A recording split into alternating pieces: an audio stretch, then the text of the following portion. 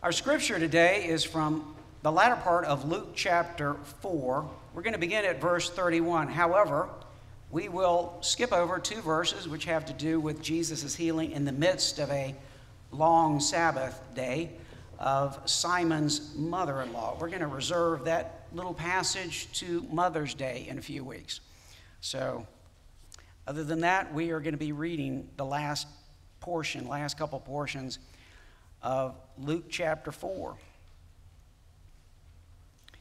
Beginning at verse 31, hear now God's word. And he went down to Capernaum, a city of Galilee, which we already know from Luke 4. He's been already basing his ministry out of Galilee. He talked about that when he preached at Nazareth. Now he's returning from Nazareth down to Capernaum. And it's literally down. He's going from well above sea level, the cliffs of Nazareth, down below sea level. Capernaum is below sea level on the Sea of Galilee. And he was teaching them on the Sabbath. And they were astonished at his teaching, for his word possessed authority. And in the synagogue, there was a man who had the spirit of an unclean demon. And he cried out with a loud voice, Be gone, leave us alone. What have you to do with us, Jesus of Nazareth? Have you come to destroy us? I know who you are, the Holy One of God. But Jesus rebuked him, saying, Be silent and come out of him. And when the demon had thrown him down in their midst, he came out of him, having done him no harm. And they were all amazed and said to one another, What is this word? For with authority and power, he commands the unclean spirits, and they come out. And reports about him went out into every place in the surrounding region.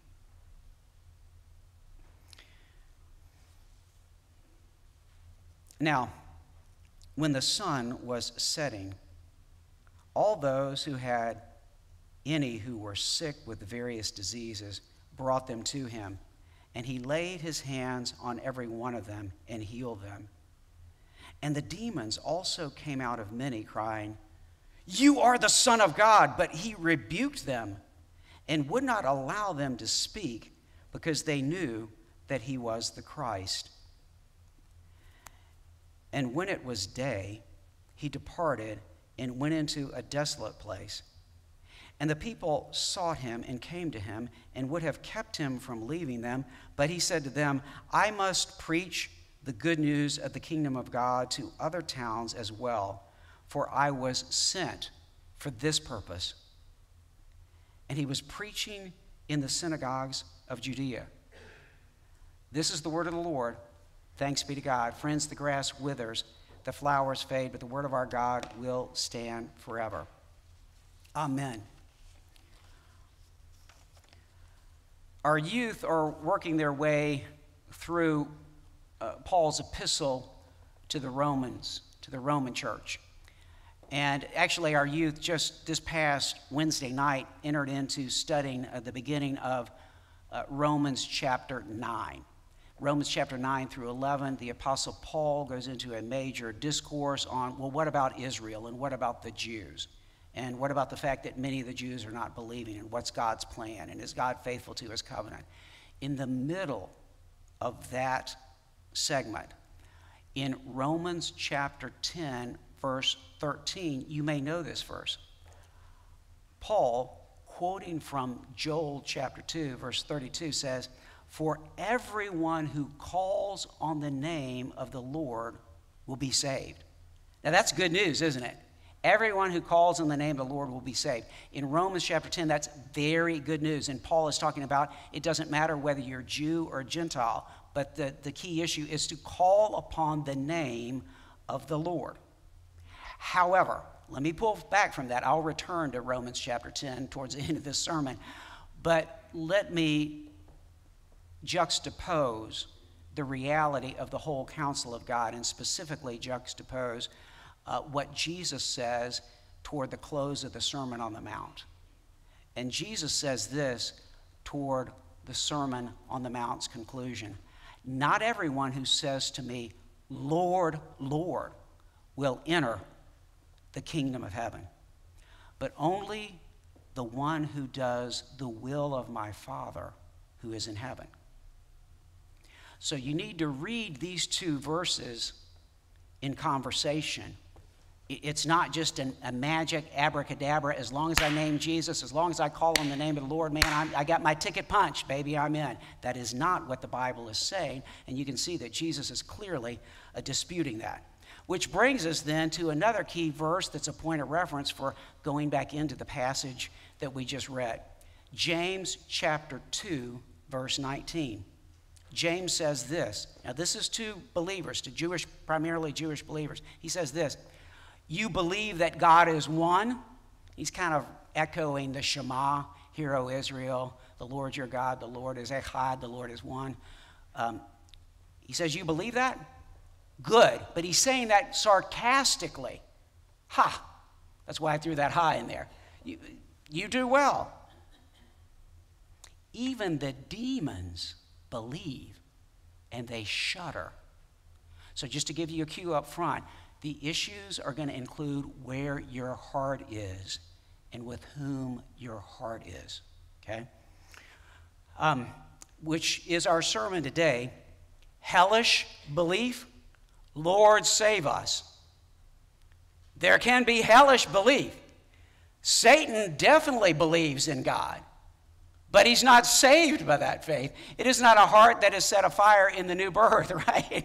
It's a, it's a heart that is set against God. Likewise, these other fallen angels, the demonic spirits at work in the spiritual warfare on earth. So, hellish belief, Lord, save us. Let's pull back and remember last Sunday, on Easter Sunday, we particularly highlighted and went back to temptations numbers one and three in connection with what Jesus is saying and preaching and what happens to Jesus in Nazareth, his hometown.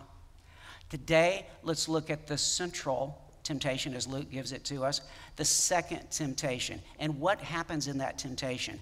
Jesus rejects, Jesus rejects the devil's offer of authority. I want you to catch that of authority all the authority and all the glory. It's exousion and uh, uh, doxon in Greek, okay? So you, you kind of need to know that first word. Exousion. I'm going to come back to that. All the authority and all the glory of all worth, world's kingdoms throughout all history. Everything that we think that glitters and is gold, okay? Jesus rejects all that. The offer that Satan gives him of Satan given authority, the world's authority. Satan says, I can give you everything that everybody down here thinks is really important. Okay? The devil took him up and showed him all the kingdoms of the world in a moment in time and said to him, To you I will give all this authority, all this exousion, um, and, and their glory, their doxon, for it has been delivered to me, and I give it to whom I will. If you then will worship me, it will all be yours. Jesus answered him, It is written, You shall worship the Lord your God, and him only shall you serve. Now, we have Jesus rejecting the devil's offer of authority. Now, in the last part of Luke chapter 4, we have Jesus exerting his own authority. A different authority. It comes from heaven. Hellish belief, heaven given belief.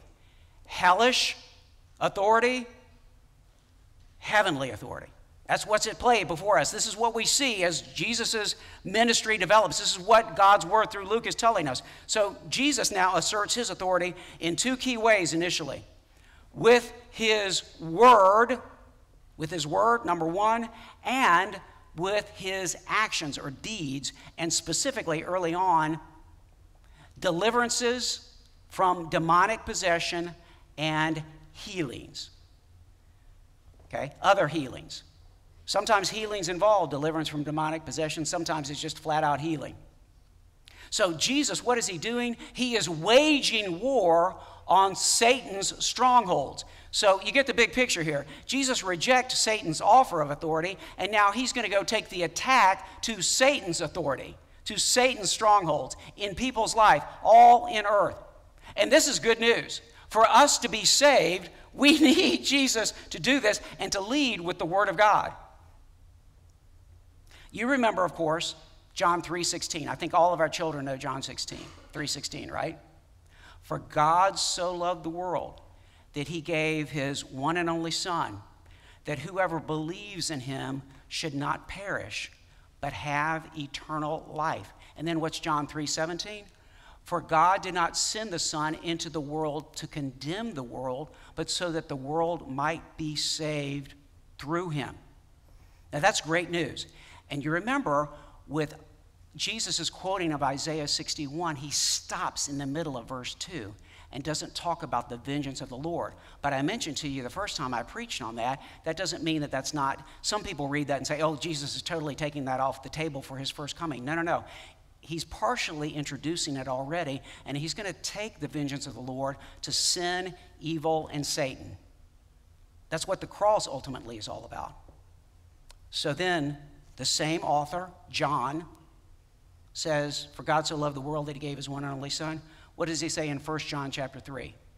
Well, let's look. Why did Jesus come? The reason the Son of God appeared was to what? The reason the Son of God appeared was to do what? Destroy the works of the devil. That is his first coming, his first appearance. John's telling us that. So he is waging war, Jesus says, on Satan's strongholds. Now, this connects with Jesus' calling and the prophecies of Isaiah. Remember, we've talked about Isaiah chapter 11. There shall come forth a shoot from the stump of Jesse, and a branch from his root shall bear fruit. The Spirit of the Lord shall rest upon him the Spirit of wisdom and understanding, the Spirit of counsel and might, the Spirit of knowledge and the fear of the Lord but with righteousness he shall judge the poor and decide with equity for the meek of the earth. That's all great news, right? That's the Beatitudes. That's wonderful. But look at this. And he shall strike the earth with the rod of his mouth and with the breath of his lips. In other words, with his word, he will kill the wicked. He will kill the wicked.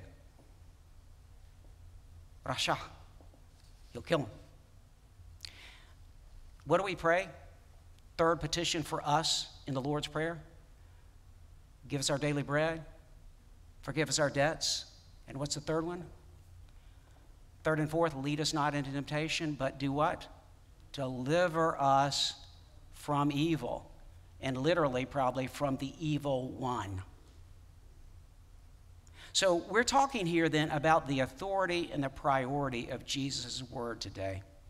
That's really what we need to understand front and center from this passage as it applies to us as a church and as it applies to you and me in our households and our lives outside of a few hours we spend together in church on Sunday morning. The authority and the priority of Jesus' word.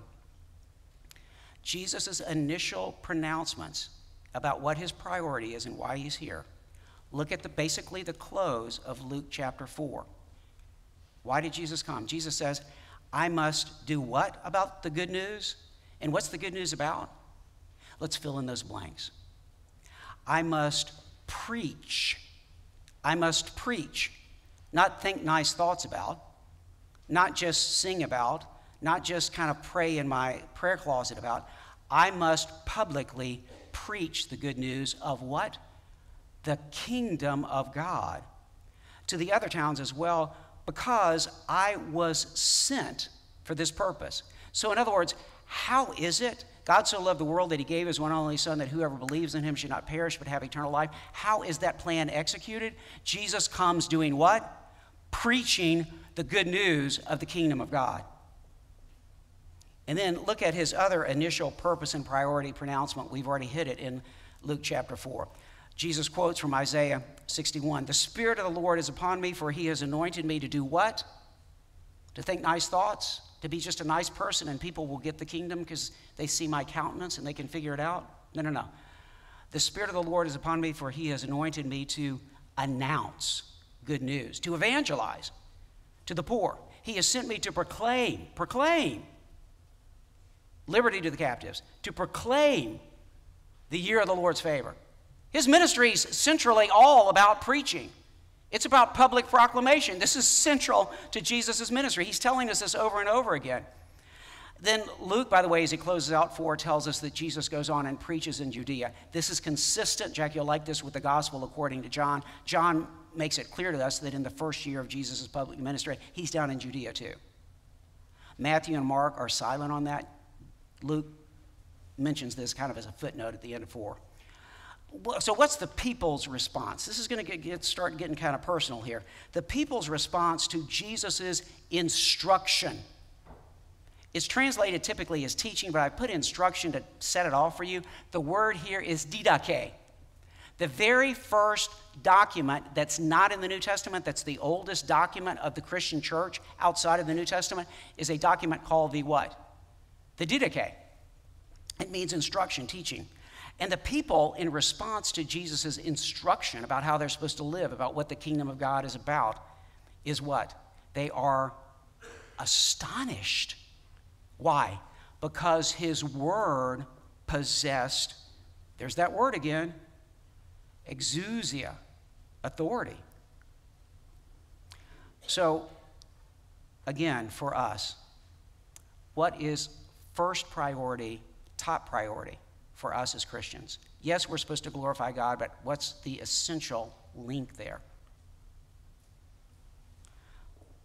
If we're truly to glorify God and His kingdom in our worship, in our fellowship, and in your daily life out in the world, the preaching and teaching of His Word, of His gospel, of God's kingdom, and our hearing of it. You catch that? He preaches, and we need to hear it. Today, this is fulfilled in your hearing. Actually, receive it.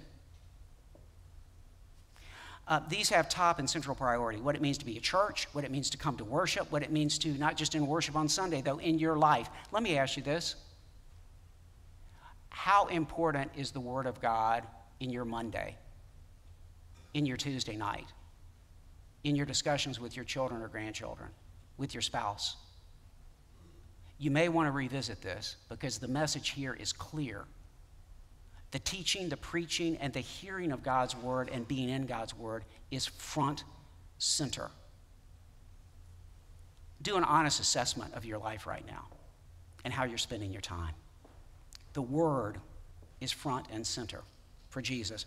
Jesus says, I must preach the good news of the kingdom of God. Now, notice this is good news of the kingdom of God. This is not, let me kind of pick out a few verses that make me feel good or that apply to where I am right now. No, no, no. This is actually the full gospel of the kingdom of God. I was sent for this purpose, Jesus says. Paul says, of course, the same thing. We see this all throughout his ministry. When he's leaving the uh, elders at the church at Ephesus, how does he describe? He says, I don't have blood on my hands because I've preached the gospel to you. And then he says this Now I know that none of you among whom I have preached the kingdom will see my face again. That's, in other words, when Paul sums up his entire time in Ephesus, the key thing is what? Preaching the kingdom of God. And then when you close out Acts, Paul lived in Rome. He's a prisoner for two whole years at his own expense and welcomed all who came to him. What was Paul doing? Proclaiming the kingdom of God.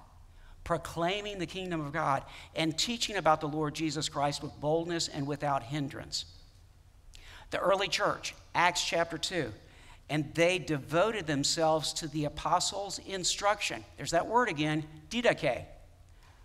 And to the fellowship. This is, doesn't just mean like having a meal together. This means like being together, the koinonia and the breaking of bread and the prayers.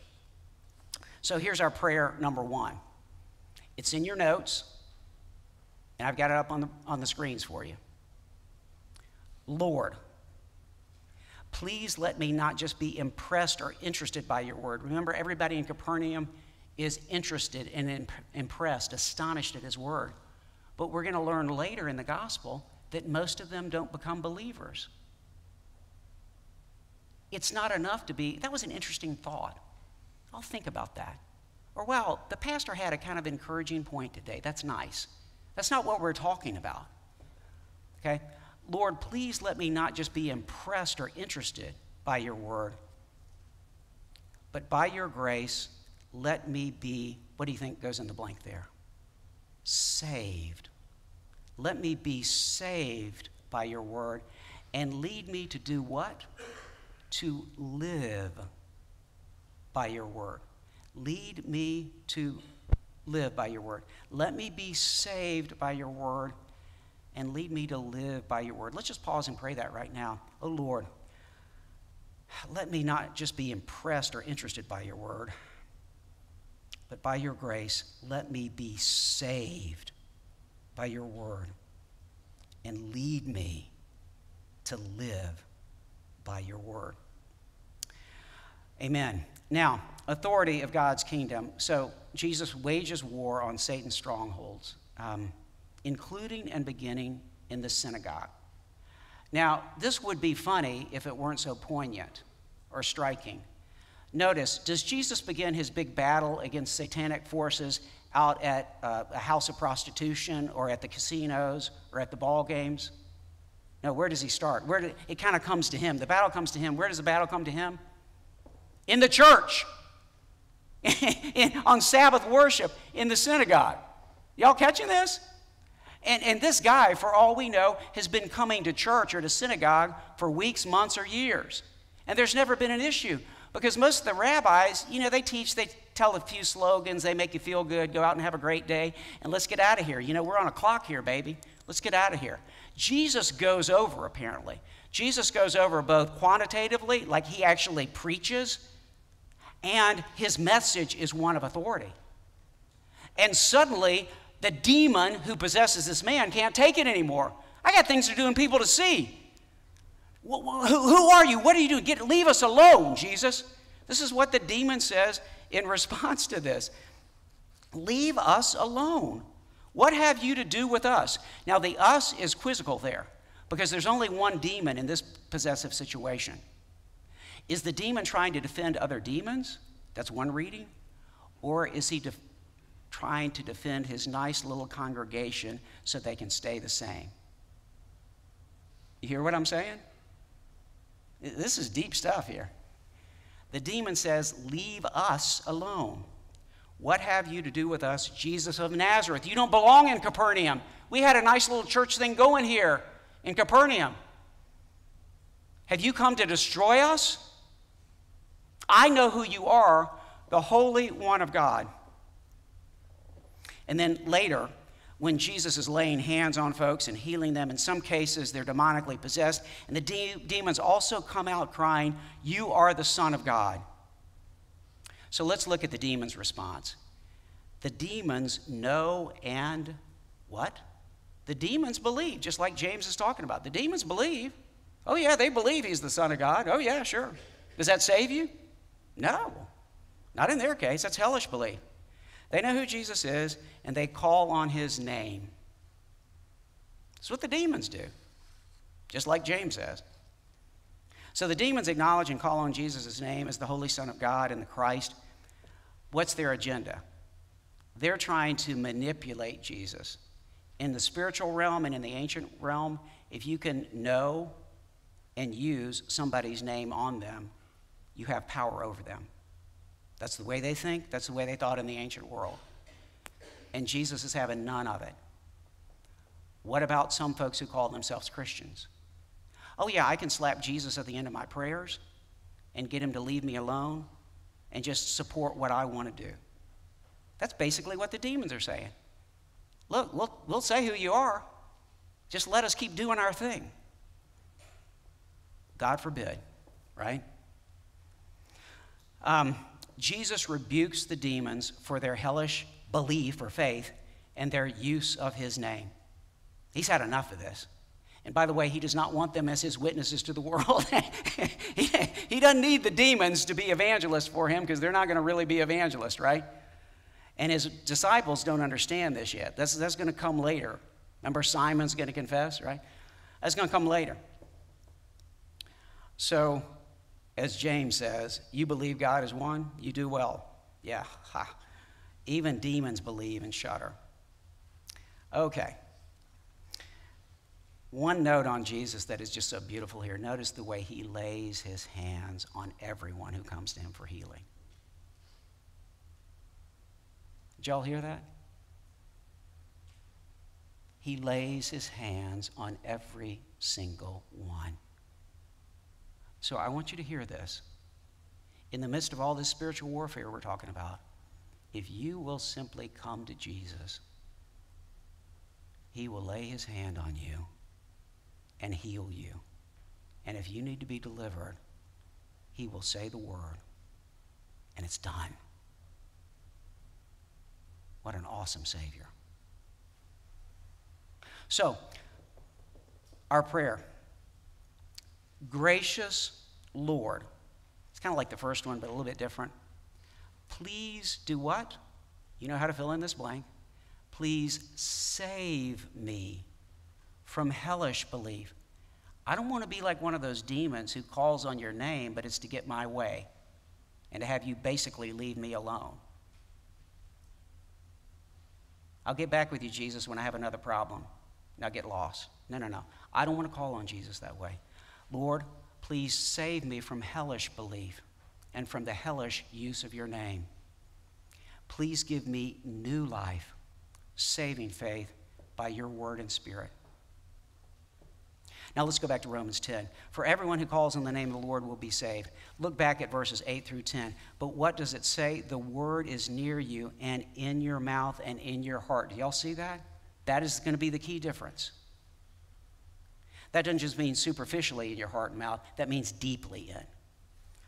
The word is near you in your mouth and in your heart. That is the word of faith that we proclaim. Because if you confess with your mouth that Jesus is Lord and believe in your heart that God raised him from the dead, you will be saved. For with the heart, everyone see that? With the heart, one believes and is justified, and with the mouth, one confesses and is saved.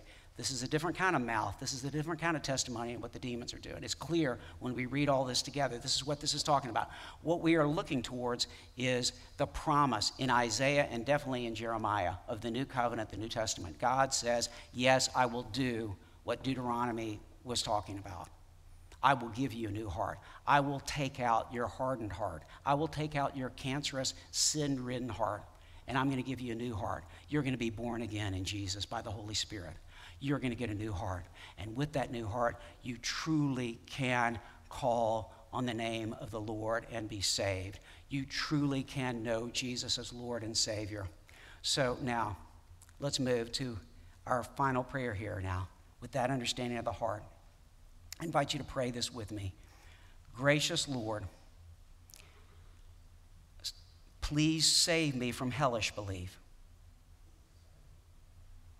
from any hellish use of your name. Please give me a new heart and a true testimony of new life saving faith by your word and by your Holy Spirit. In Jesus' name, I pray. In Jesus' name, we pray. Thank you gracious God. Amen. In the name of the Father, and of the Son, and of the Holy Spirit, now and forever. Amen. We hope you enjoyed this sermon from First Presbyterian Church in Starkville, Mississippi. If you want to find out more about our church and our ministries, please visit fpcstarkville.org. If you'd like someone to reach out to you and uh, maybe grab coffee or lunch to get to know us a little bit better, you can go to fpcstarkville.org slash connect and fill out the form there. And if you like what you're doing and want to see more, uh, go to fpcstarkville.org slash give to give.